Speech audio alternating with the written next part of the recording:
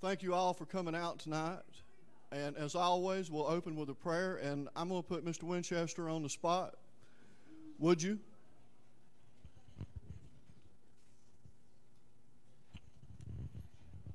Let us pray. Oh God, we thank you for the great privilege of assembling here together as people of your people. We thank you that we have this opportunity to try to help our neighbors and our county and our people to have a better status of life. We thank you for that great opportunity, the many blessings you give to us, and we pray for help and guidance as an organization and help us to do good to all people. And we just uh, thank you for our speaker coming to uh, give us additional information on how to be better people to serve thee. We thank you for the food for us, and we pray for goodness in this meeting and happiness. In Christ's name we pray. Amen. And if you'd all join me by standing in the Pledge of Allegiance. I pledge allegiance to the flag of the United States of America and to the republic for which it stands, one nation, under God, indivisible, with liberty and justice for all. It is a privilege to have you guys here tonight. I appreciate you coming out. Uh, one little thing I want to say before we start this, at, at the risk of sounding, sounding immodest by bringing this up, I was uh, honored with an award as uh, Chairman of the Year at the state convention. Uh, uh, and I don't bring it up to pat myself on the back. I could not have done this without Steve and John and Elliot and Daniel and my buddy over here, Gilda. But especially John, when they gave the I, classic Rick, I was in the restroom when they gave out the award, so I didn't actually hear what they said about me when they gave it or about us. So, from what I understand, they said secondhand, it was because of the live stream and the social media stuff we've been doing was the reason we got we got the recognition. And I want to give my thanks to John for winning me that award because without John, none of this would happen. It was my idea. John made it happen. So it's, it's as much or more John than it is me. And I got the I, I got the thing sitting the, the award sitting on my mantle at home, but it's as much his as it is mine. It really is. I'm not just trying to show off, and I mean it sincerely. Thank you. Uh, now that that's out of the way, uh, our Senator, Rex Rice, would like to say a word or two. So anytime Mr. Rice wants the mic, he gets it. Thank you, Rick. I appreciate it. Really, I just wanted to come in, and I will be brief. And when I say be brief, usually when you hear a politician say that, that's dangerous. But Rick, I did. I want to come by and say I'm proud to be a member of the Pickens County Republican Party, and it is Pickens County Republican Party. That's where I live. And I just I wanted to come by and say congratulations to you and the team because I guarantee you that it took a team effort for you to get the award, and I know you realize that. Absolutely. And it's not only that; it's it's going way back in history to our chairman in in '88, I believe. Walt, is that right? That's right. And uh, of course, Walt got me uh, hog-tied into working the polls in 1988, right. back when there weren't a whole lot of people going to the Republican polls then. So and uh, you you did you did a good job getting it started, and you brought Pickens County around to be the leadership in the Republican Party here. And thank you for what you did. But Rick, thank you. Like I say, I'm proud to be a member of this party in Pickens County because we are one of the top Republican parties in the state of South Carolina because of this team right here. So thank you. Thank you.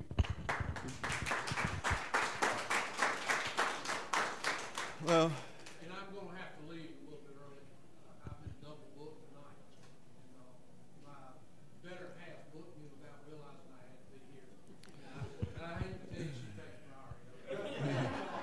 Well, Paul McCartney, for some reason, thought he could throw a concert the same night that we're having a meeting, too. I've got about five or six uh, messages from people Joanne uh, Brewer and uh, several other people. They're all at the concert tonight. Huh. but without further ado, y'all didn't come to hear me huff and puff. You came to hear somebody worth listening to. And we are honored to have Comptroller General of South Carolina, the man handles the checkbook for the state and makes it, tries to make it balance anyway, makes sense. We're honored to have you drive up here from Columbia tonight and your wife, Kelly. Always good to see you. So, without further ado, Richard Eckstrom, Comptroller General of South Carolina. Oh, one last, one last thing.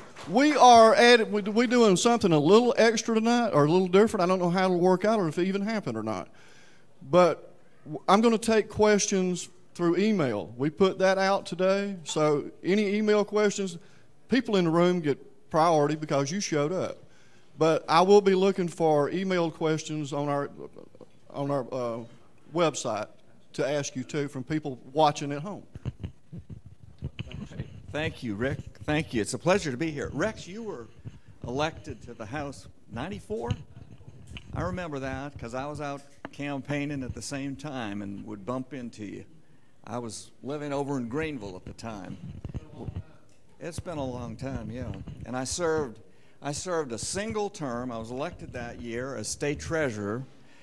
Served a single four-year term as state treasurer, and then I don't know if you remembered, I left office due to illness. The voters got real sick of me.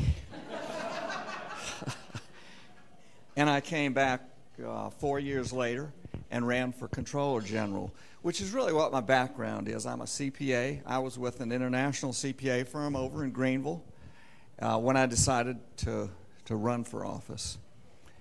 And one of the things that dawned on me is that state government oftentimes operates as if the finances don't matter. As long as you can raise taxes, you can keep the books balanced. You'll always have money to spend on this or that. And that to me seemed like a recipe for financial disaster. And I know the taxpayers agree with that assessment. Uh, Rex, I know, agrees with that. I've always really remi- uh, admired Rex for his conservatism.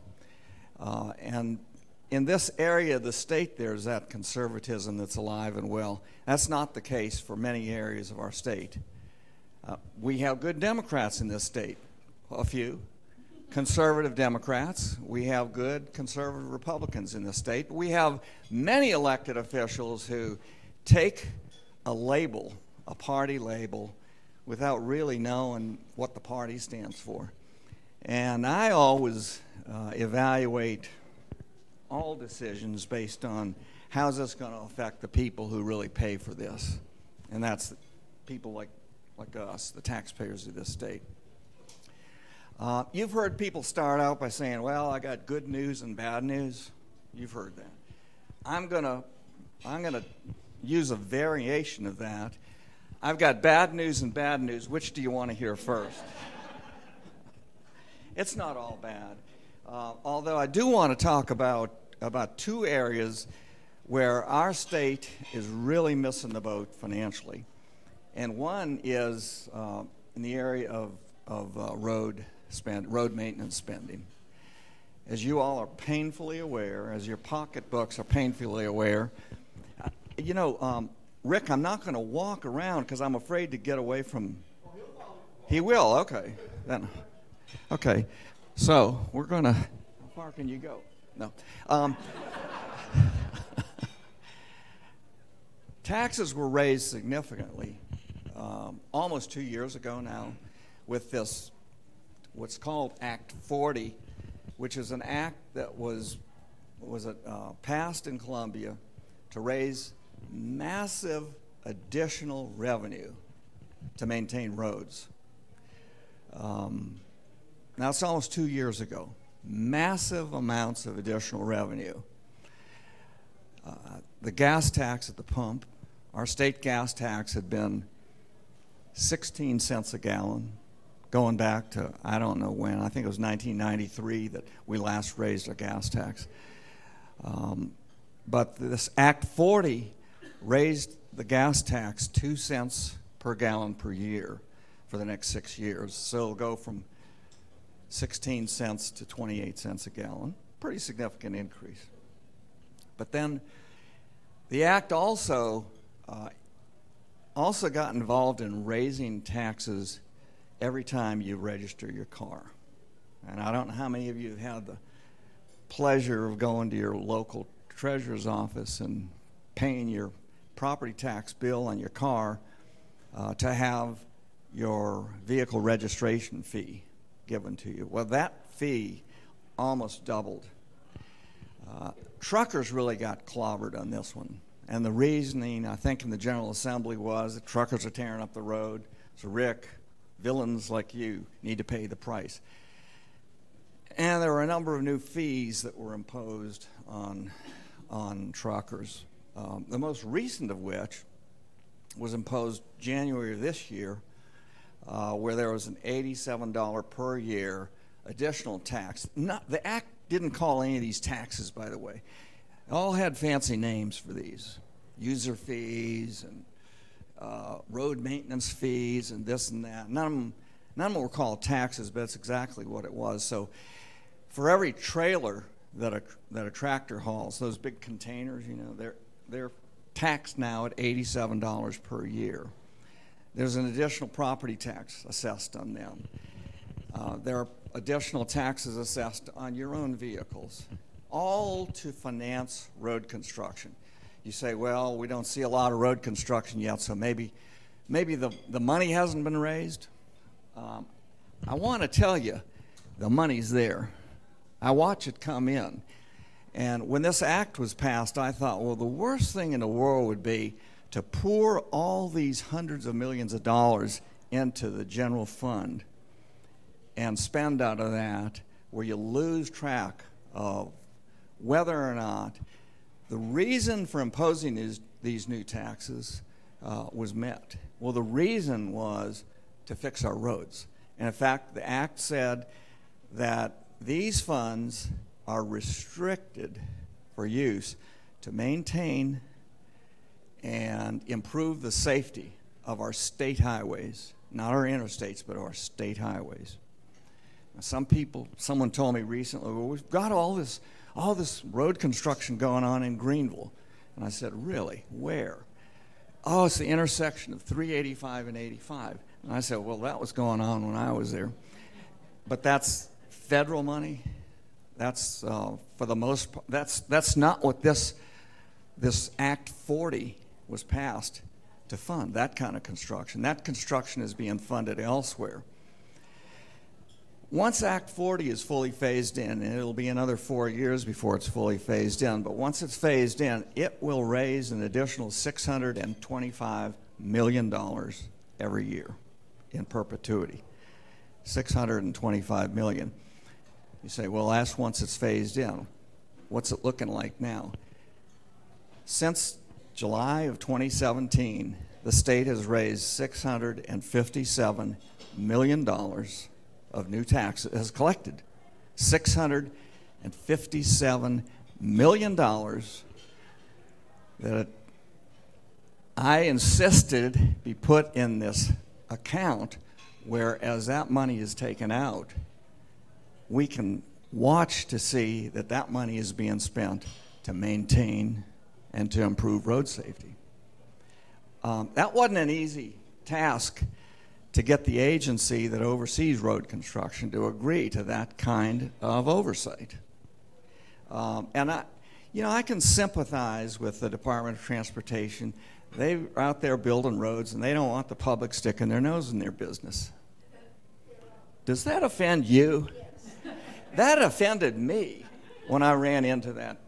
That, hey, don't interfere with our business. And my response was, you're spending the public's money. And you're, you're just withdrawing it hundreds of millions of dollars at a time. The public has a right to know how every one of those dollars is spent. And so I worked almost a year to get a report prepared by the Department of Transportation because they have all the details for how this money is spent. And I worked with them to produce a report that shows by county in the state and by specific projects within each county each time spending occurs. Now, I say we, we've raised $657 million today. How much do you think we've spent? 13 Hmm? 13 You cheating. You cheating. How'd you know? It was it, It was, yeah. The, um, the, the number is a little bit higher, but not much higher. It's extremely low. And I think that the Department of Transportation was a little bit self conscious about that. And so, on a couple of occasions, that agency has gone to the General Assembly to get approval to spend that money for other purposes that are kind of related, kind of related to road construction, but it's not road construction. One of those purposes is to send money out to counties for counties to use for their own transportation needs. Well, that's fine.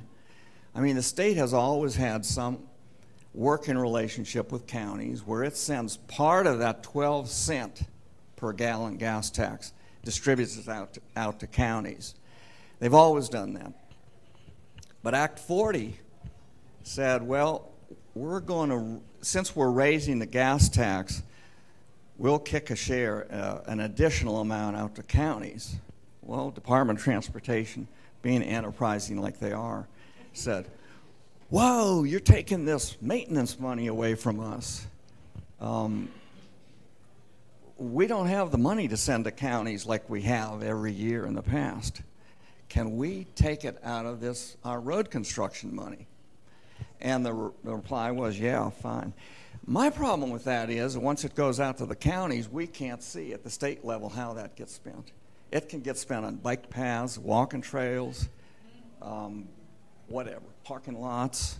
It can get spent on any number of transportation related projects, but that's not what Act 40 was passed for to fund miscellaneous transportation related projects. It was passed to fix our pothole infested roads. Now, I don't know if any of you have been up I 95 recently.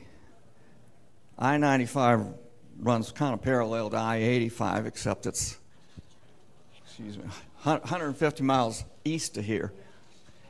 It's in terrible shape. That interstate was built, I think it was finished maybe back in the late 60s. It was finished largely with federal money, and the feds said, well, you guys are going to be responsible for maintaining it now. Very little maintenance has ever been done on I 95. What happens to a road when it's not maintained? You're taking your life in your own hands on section of I, sections of I 95. I can tell you because two weeks ago, I drove down I 95 in the morning, which was okay because you could see the potholes in the daylight. Came back at night, and it was the most dangerous, rough, pocked up highway I have ever been on. I don't know what's kept people from having serious accidents on that. But the state's position is well, we can't spend this, this uh, Act 40 money um, on interstates, so um, let's put tolls on I 95. Um, what's happened on the Connector 2000 with tolls? Huh? There's nothing happening on that one. People avoid it because of the cost, and there's no development along Connector 2000. I mean, it's a short spur. But think of all the development opportunities if that place didn't have toll booths catching people as they're driving to and from. Um, I mean, I thought maybe we maybe there had been the second coming and we were left behind because we were about the only car on the road when we came across that this afternoon. And my view on tolls is that, especially on interstate highways, I 95, when the state knew all along it had an obligation to maintain that road, it can't wait until there's a crisis, a maintenance crisis, to then say, hey, we don't have any way of fixing this, so let's put in tolls. And I talked to uh, some of the power brokers in Columbia about, well, you know, what do you have to raise? How much do you have to raise in tolls? And the answer was half a, half a billion dollars. We have immediate needs now to repair bridges and sections of I 95 that'll cost about $500 million. I said, Well, I'm, i watch revenues as they come in, as they're collected from every source income taxes, sales taxes, bank taxes, savings and loan taxes, you name it. Anything that comes into the general fund, I'm monitoring. I said, Well, you know, you all were projecting, you budget writers were projecting that we'd collect so much this year. It looks like we're going to finish this year about $500 million ahead of what our projections were. You know, President Trump's policies are really paying off. What we've seen in our economy is not just because of what we're doing right in South Carolina. The president's policies are driving a lot of that economic growth. Now, I know you're going, well, what about tariffs? I'm not comfortable with that one, but all in all, I think those policies have been extremely favorable, beneficial to our state, to the point that South Carolina is, is an economic leader. Uh, we announced just today a new plant down in uh, Moncks Corner, building a 116,000 foot manufacturing facility. It's a company owned by the Chinese, but it's got kind of an American sounding name. But um, it's going to continue to promote economic development in our state. It said it, that it located there because of our good highways, okay? Access to the deep water port at Charleston, which the state is in the process, thanks to people like Rex, uh, of dredging out and deepening so that Charleston will, within two years, be the deepest port on the east coast of the United States, which means that we'll pick up even more traffic, shipping traffic, than we have now. But you, but, you know, you look around and you say, well, how can we support all that shipping in and out of the port? We got BMW up here. We've got Volvo down there. We've got these new companies, like the one that announced its its uh, its relocation today from Massachusetts. Uh, we've got the Mercedes truck plant down in the Charleston area. Um, we have just success after success after success. And we've got to make sure that we do have a transportation system that can accommodate all that success. But the only way we ought to be funding that is with resources that we have right now. There will be a tremendous amount of pressure not to do anything with this surplus, to wait until the end of the year so it can be redistributed to districts all around the state to build whatever, libraries or to finance community festivals or this or that, green bean museums, whatever. Um, and it's, it's people like us, I think, that have to let elected officials know. Thankfully, we have someone like Rex Rice down there who can breathe sanity into the, into the air to say, wait a minute now, if we've got revenues, excess revenues that aren't committed, we have a real solemn responsibility to prioritize our needs. What is greater? Is it fixing interstate highways that we've ignored for decades? Or is it adding a bike path in whatever county?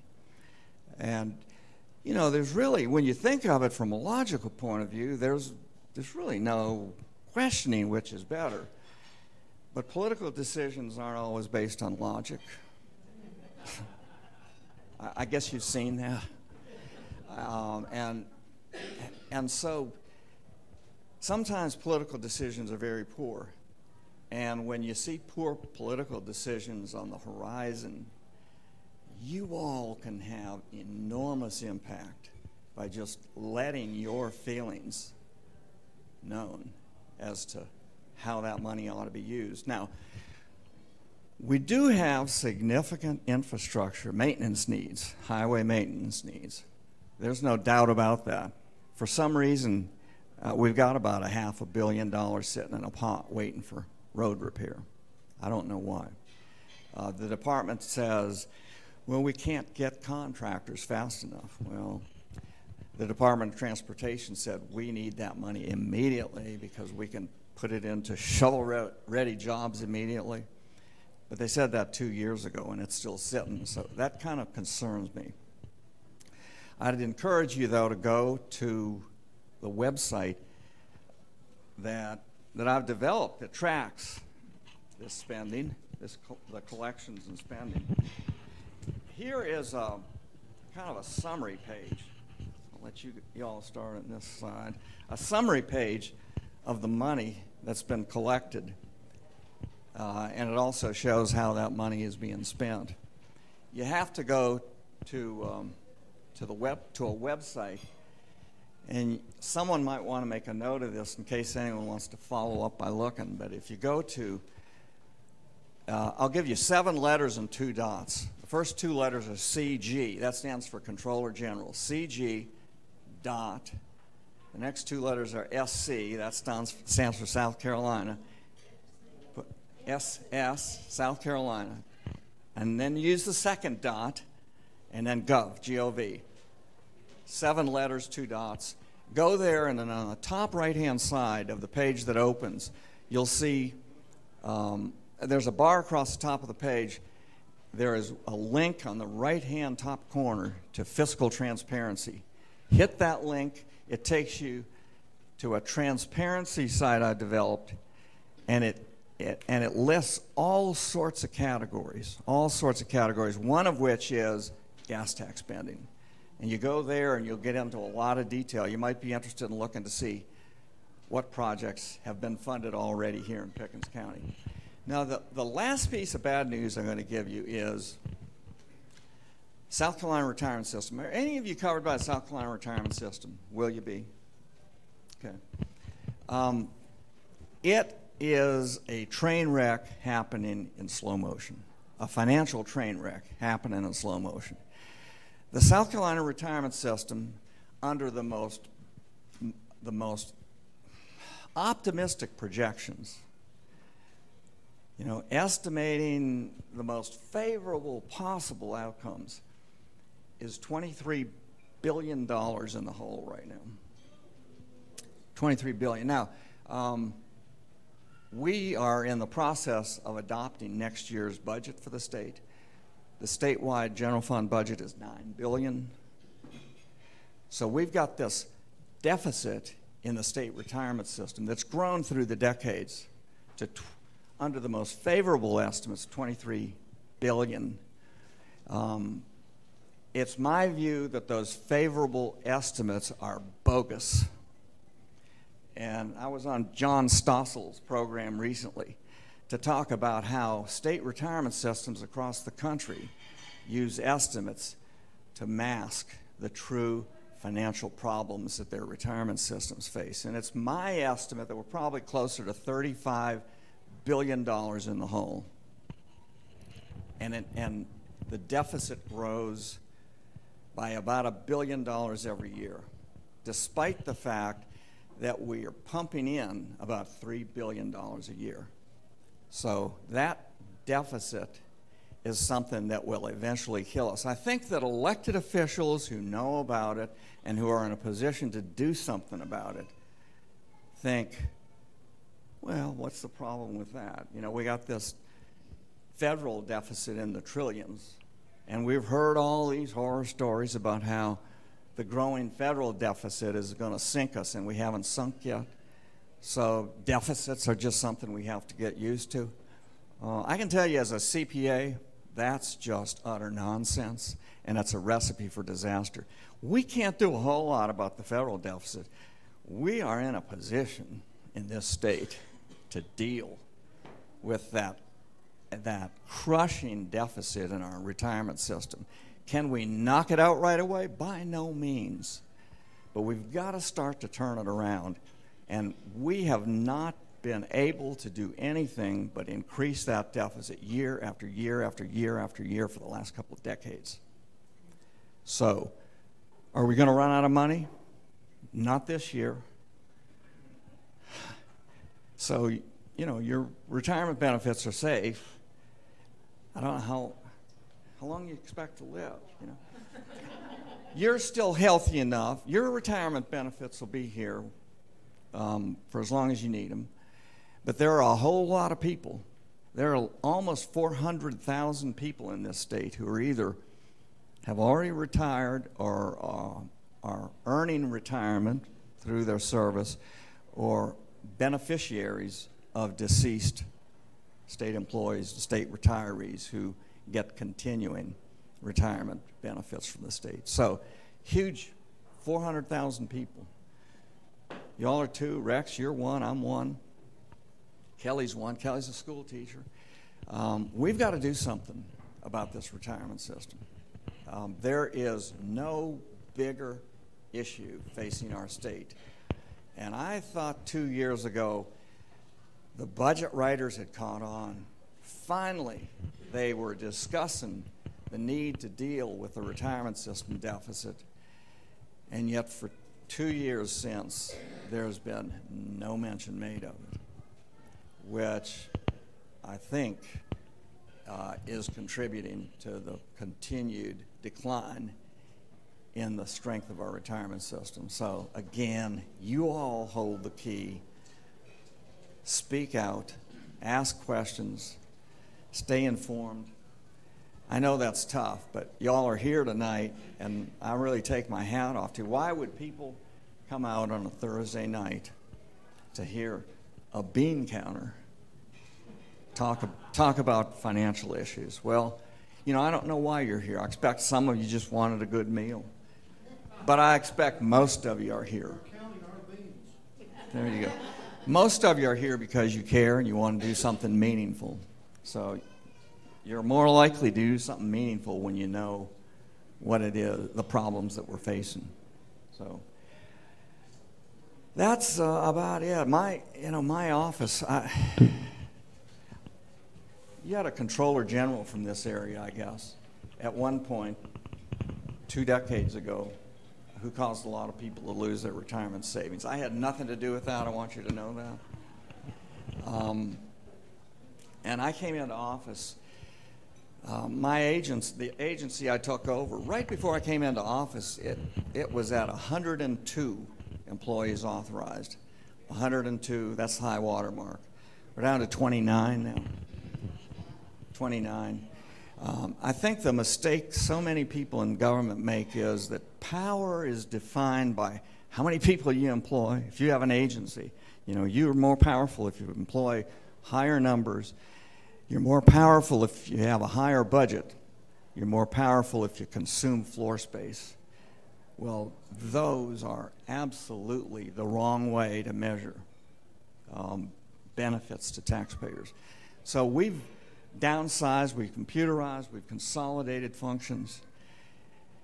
I've learned that we've done so much with so few for so long that we can now do anything with no one forever. Oh, thank you, sir. Uh, I've got.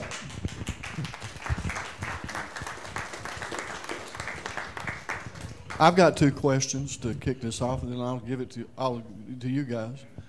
Uh, how would you say the best? Well, like I say, if you, you, know, if you find yourself in a hole, first thing to do is quit digging, right? So, on the uh, retirement program, how would you turn it or start turning it in the other direction? Get away from uh, definite a definite benefit and go into a 401k type thing, or how, what's the what's the best way you think? That's going to slow down the decline. It's not going to eliminate the deficit because the, the deficit that we have right now is for benefits that have already been earned under the old system. Now, the old system is a system, the approach that we took for providing retirement benefits is an approach that most major corporations in this country have learned long ago is unsustainable and have gone away from the sort of retirement plan that we offer. And they've gone to, like a 401k plan, it's called a defined contribution plan. What you get in retirement is based on how much you contribute and how well the funds you contribute have been invested and you have control over how those funds are invested. You say, well, I don't know about it. I don't know anything about investing. But most people with their 401k plans hire a reputable firm to manage their funds.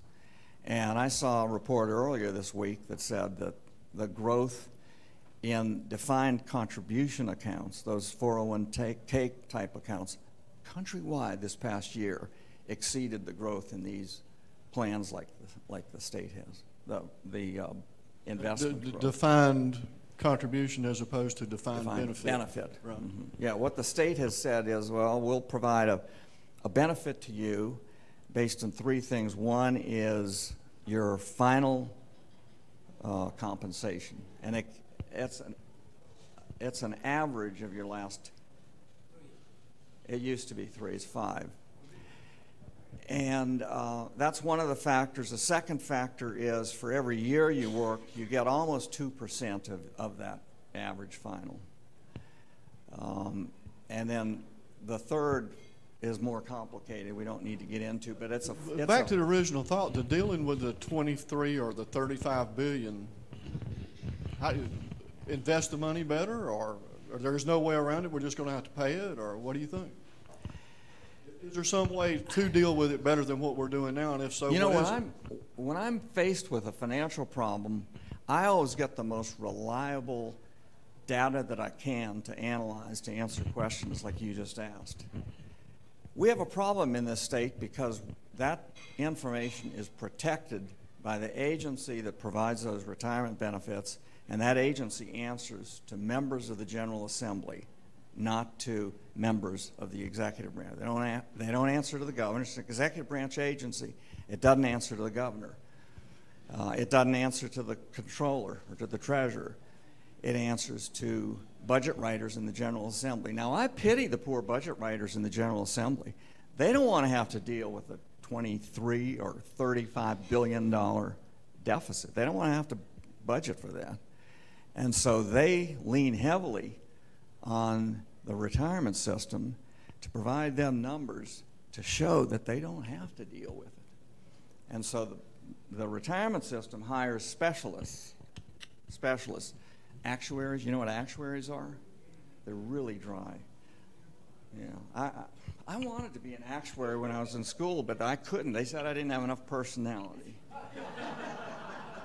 but, uh, but the actuaries give, apparently give the retirement system reports that say, well, if this happens, if that happens, and this happens, then within a couple of years, you'll start to carve into that deficit. Well, they've been saying that for years. As long as I've been in office, the actuaries for the retirement system have given that report. Well, next year it's still going to be a problem, but within two years it's going to start turning around. How many times do you have to be told that? And, and the problem is, no one but the retirement system and the budget writers in the General Assembly have access to that information. And as I've asked meet personally, you know, one on one with actuaries, I'm told, no, you can't. We can't let you micromanage this. I'm not asking to micromanage it. I just want to know how bad the problem is and why it's that way. And without being able to analyze the numbers, who knows? Just, just a passing thought, and we'll move to a different subject. Uh, it's just, it's like you was talking about. You, you are counting our beans, and they're playing with our beans. You know, it's our money. I understand if they're investing people's money that they're putting into it, but at the same time, we're the ones that got to pay the bill, so we should be able to know what's going on, so we know what to do about it. But Well, uh, they'll tell you, well, we're taking care of it, don't worry. Thank you for that assurance. That's Jump to another one, then I'm going to turn the microphone over to you guys. Uh, totally different subject. You was talking about how well the state is doing and the business is coming in and that kind of thing, and that's all true. But we still have the, if not the highest, one of the highest income taxes in the southeast on the state level. And when there has been talk of reforming our tax code or our tax system in South Carolina forever, doing away with the income tax, going to, you know, all kind of different ideas floating around out there. Do you think, what do you think would be the best way to make us more competitive with Georgia and North Carolina and Florida and Tennessee? Because most jobs, I remember, not to cut you off, but I've, I've seen this uh, information in a couple of places over the years. Most jobs were not moving overseas. When jobs move, they move from one state to another. Sure. That's where the jobs go, from, from, one, from one environment to another environment, better environment. Well, I'll let you in on a dirty little secret. You figured part of it out that we have a high rate of income tax. The uh, uh, the budget writers projected through an office called the Revenue and Fiscal Affairs Office that income tax, individual income tax receipts would grow by 3.6% last year to this year. That we'd have 3.6% growth. You say, well, that's pretty good. 3.6% growth. That is really good. Guess what our growth in income tax receipts have been this year? 10%. 10%. We calculated that, uh, they calculated that the growth in corporate taxes would raise. I've got the numbers right here for corporate taxes that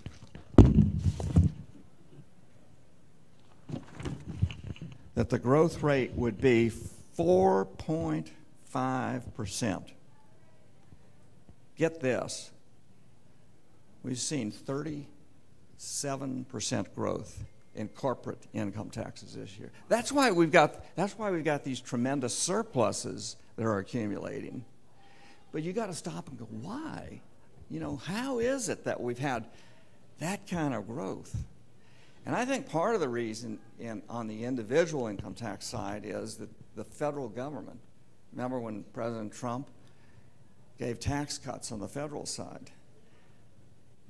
The state didn't really handle that one properly because the federal tax law was changed to provide you some federal tax relief. The flip side of that is that you lost some deductions on the state tax side that ended up making you pay more state taxes. Now, I had a debate with the head of the Department of Revenue and the head of our Board of Economic Advisors last week over that, and they said, Well, you can't prove it. And I said, No, I can't.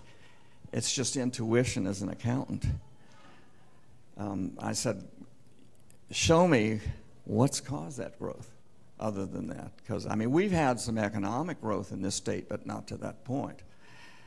So, I mean, we're, we're in the process of reducing corporate tax rates. It's, it's kind of a slow decline. We've got to do the same on the individual side. And my prediction is we're probably going to be driven to do that. To be competitive. To be. Questions? Oh, okay. Right here. Okay. Yeah, well, Now, they may have changed this since I uh, retired, been a while. But uh, there were two questions, two procedures that I questioned in the family system. Large uh, departments in the government will take, uh, as you say, the best five, the last five years. But what they'll do the last year is totally jack up your yeah. salary. or, or more than. The yeah. amount is gonna hurt that rest of your life. The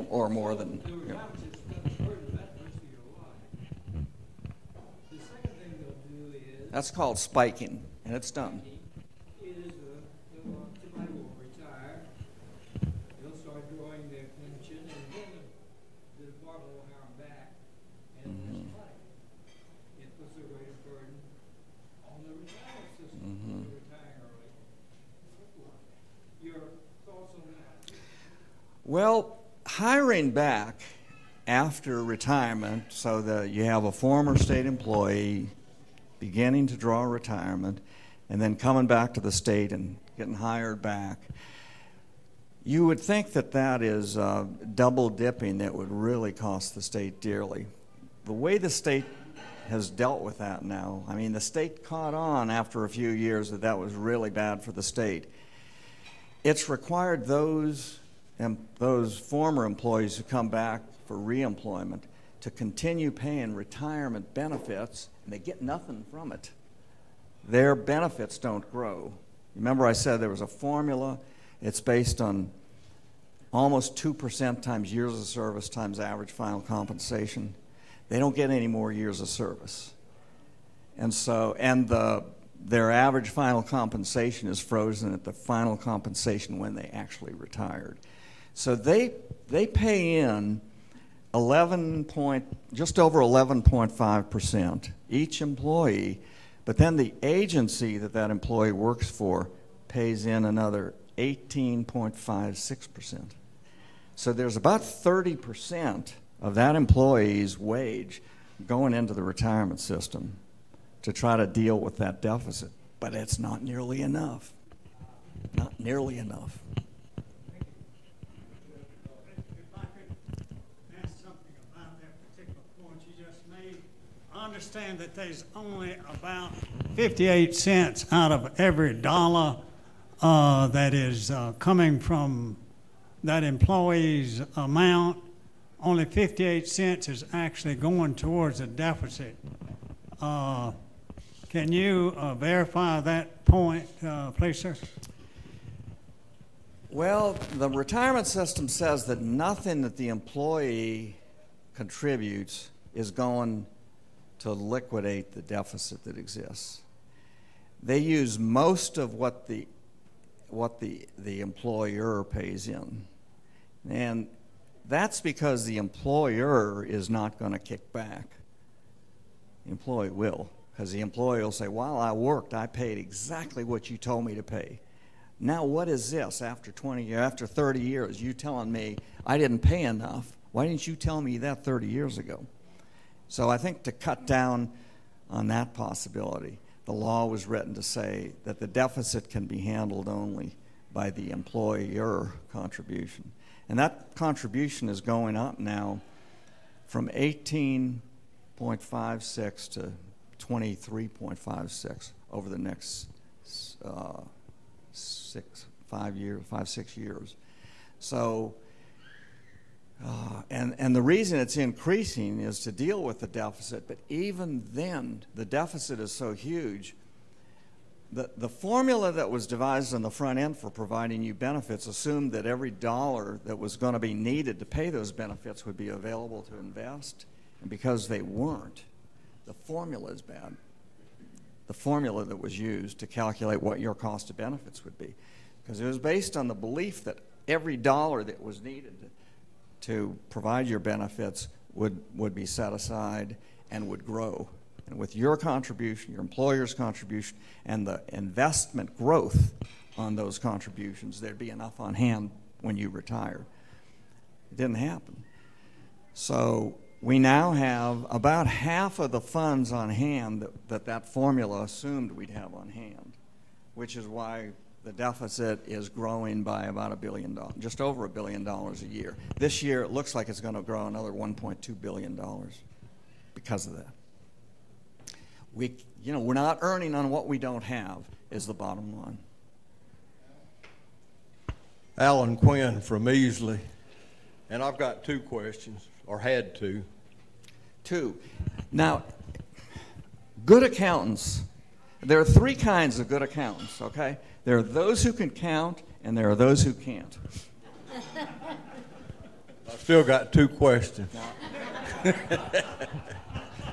Go ahead. I, I, I was telling the, on the, me. The first question is the um, percentage that we were talking about of what the DOT has spent on what they have collected on the new gas tax. Your answer was, I don't know. Did I say that? Yeah. When asked why haven't they spent it, Oh, well, and, and and we had a guy from the DOT that came up. His answer was the same thing. Well, I don't know. Somebody's got to know. Actually, I think what he said was that they said they couldn't get contractors as part of the explanation. That was part of it, and I was, yeah, so, but that's not a good reason. no, that's not a good reason. I mean, we, we probably got contractors in other states would be glad to come to South Carolina and earn some money. The thing is, the director of the DOT now, now reports to the governor. Does he know? Does he know The why that money hadn't been no, spent? the director of DOT doesn't report to the governor. I thought they fixed that where she did. No, she reports to the DOT commission. And um, part of this Act 40 that pumped all this money into DOT added one more commissioner to the commission. So she now has nine bosses rather than eight. But um, the governor, um, through his appointments to the commission, can maybe impact her performance. You know, I mean, his appointees to the commission could bring pressure to bear on her, possibly, but it's not a, he doesn't have the direct ability to do that. He's got to go through a commission. Somebody's got to know the answer. Well, I think I mean, it, it's, I mean, it, it's getting, that's, it's almost getting to the point of being criminal. You took this money. No, I don't- I You don't- passed this Yeah. law that took our money, and you've got it sitting down there, and you want to spend it on interstates now instead of the original reason Right, that it was collected, but you're not spending it. That don't make sense. no, I, I mean, I- you'd get all kinds of reasons why the money hadn't been spent. Probably the most convincing reason that the agency would give you is, well, these projects require long-term planning, and we've got to have a workforce out there. Contractors are willing, but they can't find the folk to work on their construction crews, and um, give us time. That's, you know, it's always give us more time. Okay. Now, you say, well, how come I don't know? I've got, uh, I had one other, one other. I've had a real frustrating week. That might be the reason I sound frustrated. Hey, Okay, I, I, I ran for office twice, 2016, 2018, in the state office, and didn't win. And ran on economic development for Pickens County. We were last. Three years ago, I think we still are, we were last in the state in economic development. And I know that comes from the county. That's under their basic control. I've been talking to the county council. I've got good relations with them at, at the new ones.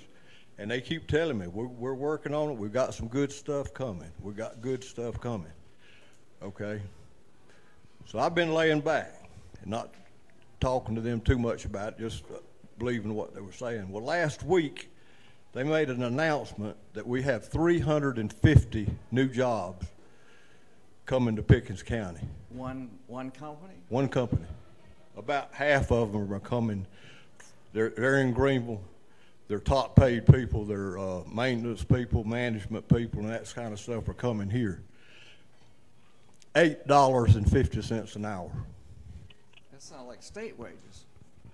Well, my question, it looks like we can't depend on our county to do what they're supposed to do. Is there anything that our state delegation can do in Columbia to help us? They tell us that it's not their job. In 1972, our state constitution was amended to provide what was called, referred to then as home rule. Home rule said that the, the county delegations, legislative delegations at the state level, no longer control the function of local governments. That they had to be supervised, managed, etc., by their local elected officials and not state elected officials. I think that was a, a pretty good change back in 1972. So, I mean, the state can, the state can work with your county officials. Probably not state elected officials that would work with them best. It'd be the State Department of Commerce. Every single success story we've had in the state has involved the Department of Commerce coming alongside state, re, um, local resources to work to recruit, to bring in. And uh, I think without, I'm not aware of any major success we've had that hadn't involved the Department of Commerce. The head of the Department of Commerce came from BMW. It just seems to me like we've got to have some help here. We're last, we're surrounded by Greenville, Anderson, Oconee, top performing counties in the state, and mm-hmm. we're last. And I've worked on it, and I'm still working on it. I'm researching it. We're gonna have a paper at the end of the summer to put out about what's happening, but I just don't understand Al, why you would accept I- those kind of jobs into a county that is already at the bottom. It's frustrating I mean, I, I face frustrations on financial issues at the state level, like you face those frustrations here. My advice is to don't lose your enthusiasm in working to try to correct those problems and do it in a, in a winsome sort of way. In a what winsome, you know, an attractive way. Don't, you know, Well, I've been doing that. Don't- With the council, county council, until this week, and I, they won't even call me now. well, I, They, I- they won't even return my call. Yeah. Um, huh. yeah, yeah. Teamwork. Anyway, if you could figure out, just let me know that if there's something our state delegation can do, you know, talk to somebody. If I could figure that out, I'd be the lieutenant governor instead of that Pam. Ever.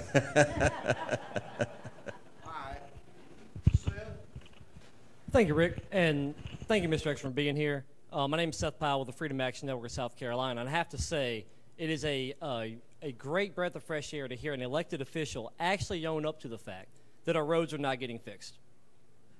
But we drive on these roads all the time. We know they're not getting fixed, right? So, as, as much as the facts and figures show us, we, we see it with our own eyes. My question is who do we hold accountable for that? And, and the way I see it, it's one of two ways, and I guess the second way is a mixture of two. Either we just hang our head low and hope for the best going forward, that our roads are going to magically be fixed if they raise a billion instead of the 600 million that they already have of the new gas tax hike, or we either go to the governor and demand that he fire these SCDOT commissioners if they're responsible, and he has the authority to do that, or we hold our state legislators accountable, the ones who raise the gas tax, the ones who help appoint these SCDOT commissioners. And just as someone, as an elected off- officer in South Carolina, and as people who are activists that want our roads fixed, who do you suggest we hold accountable, and what do we do to actually get that money to fix our roads that we were promised it would do? Absolutely.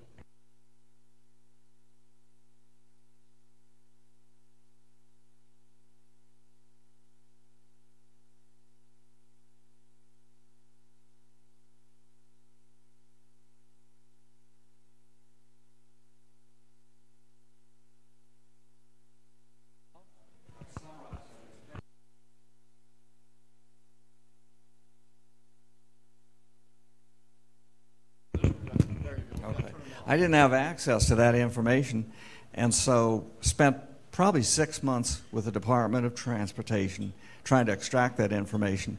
When I finally got to the point of saying, I'm getting stonewalled badly here, I went to sympathetic members of the legislature and said, Can you help? Now, there are many of them who wouldn't be sympathetic, but a, but a few of them are. And one well placed inquiry from a sympathetic legislator to the Department of Transportation would probably do more good than rolling down to Columbia in a tank. So I just want to reiterate that, if you don't mind. So if we want our roads fixed, we need to go to our state legislators because they have the best access to the SCDOT, They do. and they can get the best answers for us when it comes to getting our roads fixed. They can. And if you can find one that's on the, either the House Ways and Means Committee or the Senate Finance Committee, they have a lot more influence Thanks, sir. because the agency depends on them for their own funding. Thanks, sir. Anybody else?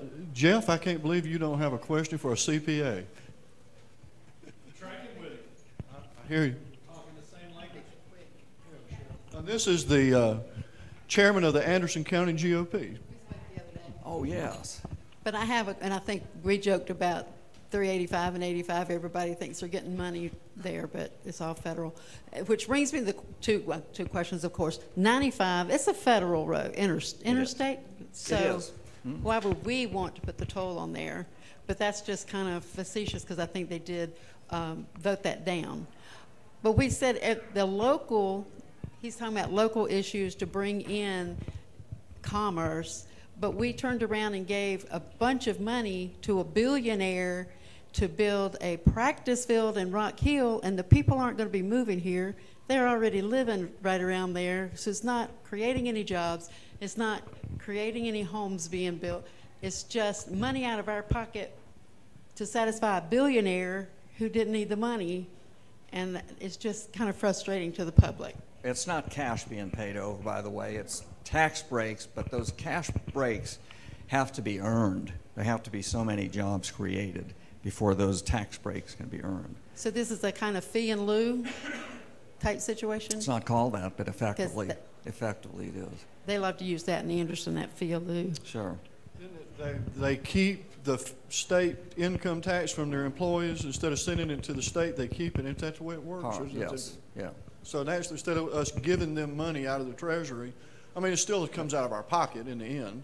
It- it But will, instead of, yeah. it's money that we weren't gonna get, that we weren't counting on. I mean, I get what you're saying. I'm not, But if they live in North Carolina, five miles the road, they're not gonna be paying South Carolina taxes, that's true, that's true. Well, I wasn't arguing for the billionaire, I was just trying to clarify how that, how it worked. But if they live in North Carolina and work in South Carolina, they, they'll have to file a South Carolina tax return. And they're already working for the, the Panthers. Mm-hmm. So it's not like we're creating, we're bringing in five hundred people. Those people are already working in Charlotte, and let me tell you, they're not living in Charlotte, they're living about halfway between Rock Hill and Charlotte. So they're just driving south instead of north. I mean, that's just my. Yeah, o- on that note, my understanding is that these players pay state tax to whatever state they're playing in. That's my understanding. So they're gonna be playing in Charlotte. So those state taxes, their state taxes are gonna be going to North Carolina, and they ain't gonna play, be playing no games down here in South Carolina. But those players weren't really part of the discussion. It was the employees, the But, overhead. for but this they also pay Georgia taxes. The Panthers, when they play in Atlanta, they're working in Georgia and they have to pay Georgia taxes.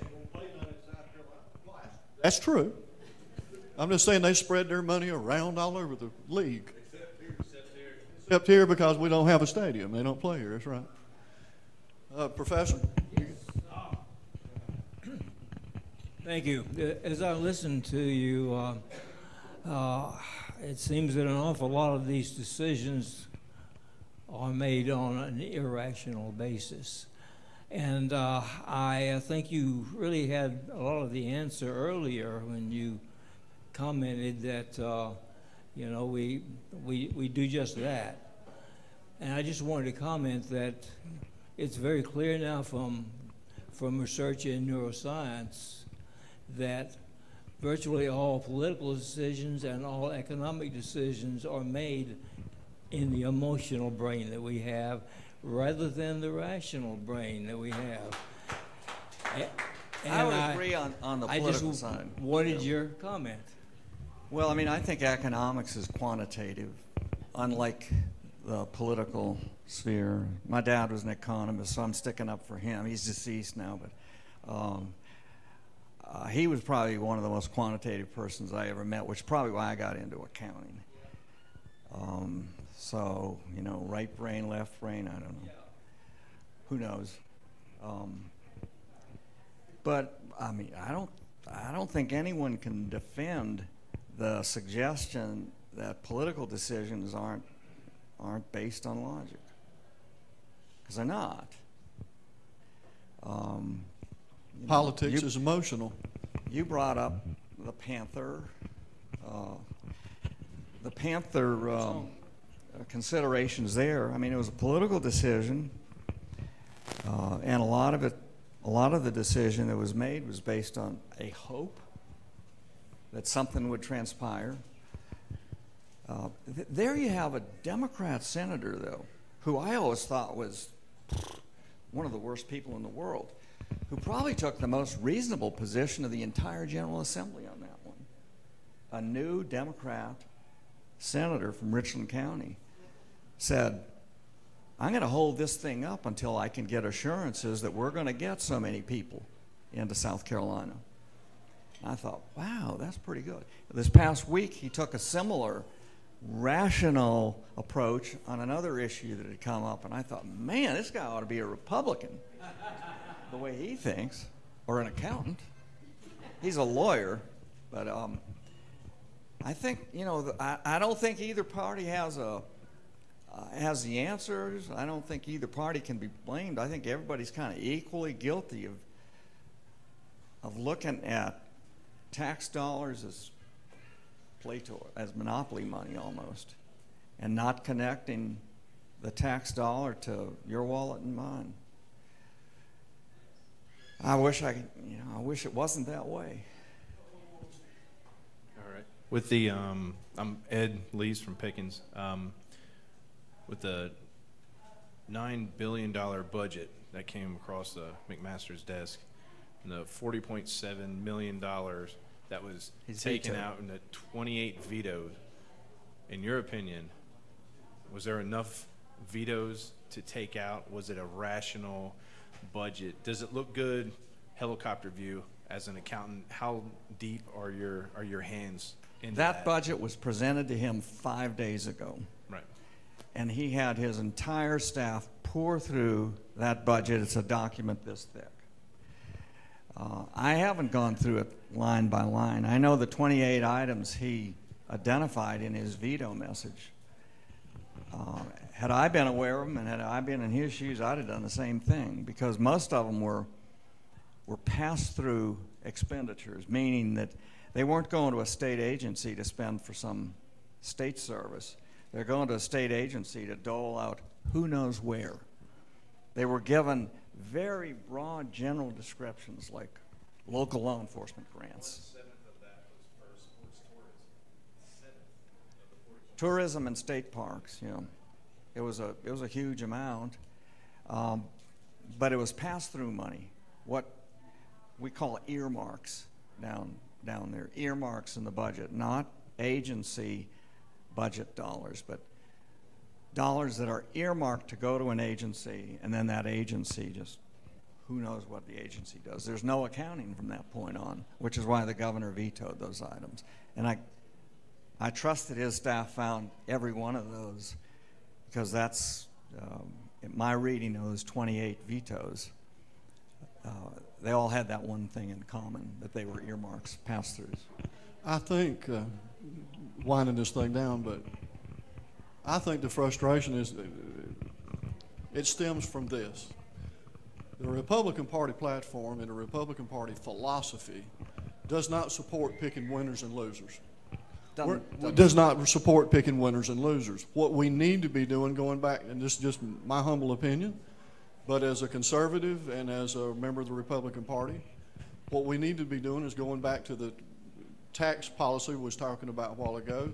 Make South Carolina competitive so people want to come here, so you don't have to bribe them and give this guy a better deal than this guy's getting. Put the tax code and the, it's, it's simple. Make it a friendly environment for business. Make it business friendly. Fix the tax code where we're competitive and people will come here without having to give them a $500 million deal and build them an interchange and all that kind of stuff. Be competitive with the states around us and they'll come. Have a better deal in South Carolina than North Carolina's got. You don't have to bribe the Panthers to come here. They'll come here because it's, they, they want to. Sure. And we got a better environment for them to be in. And everybody else would too. But, but that's, Yes. that's my two cents. Uh, the tax incentives are really the tail chasing the dog. Uh, because if North Carolina offers incentives, then South Carolina says, well, we've got to. And so South Carolina does, then Mississippi says, well, then we have to too to be competitive. And over and over and over again that happens. You know, where it's hard to, to say that uh, in every case those incentives don't work. Um, should Republicans, should conservatives use government to pick winners and losers? No, no. Um, huh? I believe they call that crony capitalism. They call it that, yeah. Um, it, uh, you know, when when you start analyzing though the economic impact that BMW's had, I mean BMW had tremendous incentives offered. That's why I mentioned it. Um, Boeing wouldn't be here without those incentives. Correct. Volvo wouldn't be here without those incentives. The state set aside, worked with the local government to set aside 4,000 acres to induce Volvo to come. 4,000 acres, 2,000 of which are going to be used, are going to be used to feed the supply chain for Volvo to bring in bring in suppliers. BMW has suppliers now, I think, in every county of the state. That have come in and haven't been offered incentives. I've got a friend that lives here in Easley that runs to Charleston and back every day, Yeah. bringing part, picking up parts from Charleston and bringing them back to Greenville or to Yeah. Greer for the assembly, for the assembly plant there. Uh, That's a tough one, Rick. That's a real tough one, though, the, the whole incentive argument it, it for is. or against. I, mean, get your point. I get your point. You get, uh, but I still maintain that it's something that's just innately unfair. To if you've been if you've had a business here and been providing jobs for people for 40 years, and you give and you give some new guy to come in a better tax break than this guy that's been here providing jobs all those years, it's just not right. No, it's not right. It should be a level playing field, in- in my humble opinions, and set the system up where it's competitive and people want to come here. Well, you know, if Dabo Swinney hadn't started playing, paying all those football players, then Will Muschamp wouldn't have had to. Absolutely.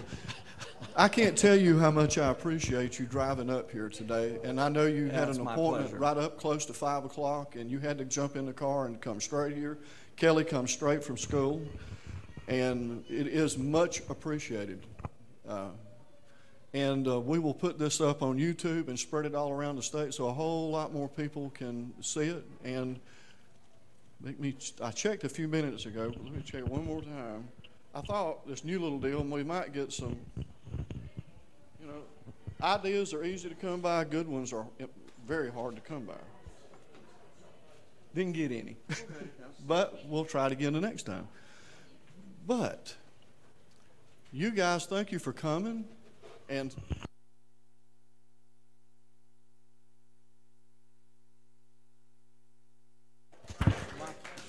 A couple of little announcements, or a couple of announcements. As usual, this time of year, we take a break in the summer from doing these Thursday night meetings once a month in June, July, and August, and we'll be back in September.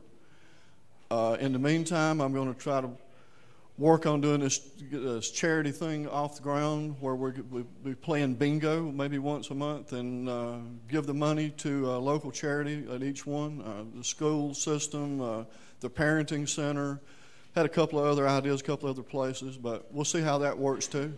Like I say, some, it's easy to come up with an ideas. Uh, good ideas are hard to come by. So we'll see how this one flies and try to give it a shot and maybe try to kick that off in September, maybe before if I can. But all of you, be safe going home.